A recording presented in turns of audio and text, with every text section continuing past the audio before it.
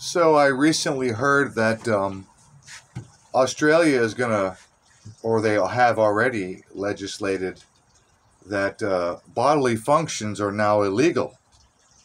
That you can be arrested, fined, and imprisoned up to six months for the crime of coughing or sneezing in public. Hey, Australia. Um, what happened to that uh, Dundee mentality? Where's the men? Don't you have any manly men in Australia? Don't you guys have rugby players? You got some tough guys over there? Where are the men? Where, where are the guys who are going to stand up and say, fuck that? I got news for you. if, if, if our slimy ass politicians tried to legislate bodily functions like sneezing and coughing and made it a criminal offense to have a sneeze. Dear God, in public. Made that a criminal offense? Oh boy, oh boy, oh boy.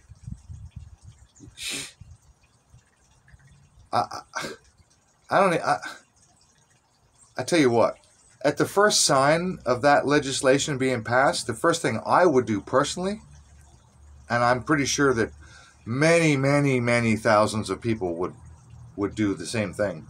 That we would intentionally go out to public places and just, you know, cough and sneeze as if it was natural. Right?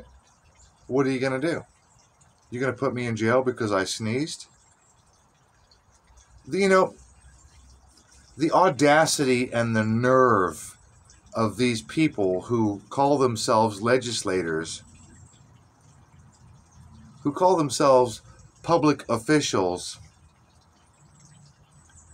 to make laws, literally make laws, that deem natural bodily functions illegal is so far beyond any comprehension. You know, we've heard the phrase, you can't make this shit up. Well, somebody did. Somebody made that shit up. I couldn't have made that up.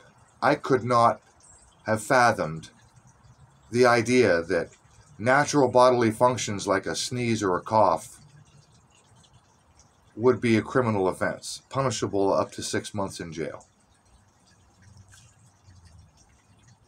I, I'm, I, I'm, my brain is broken. I'm, I'm at a loss as to what to say.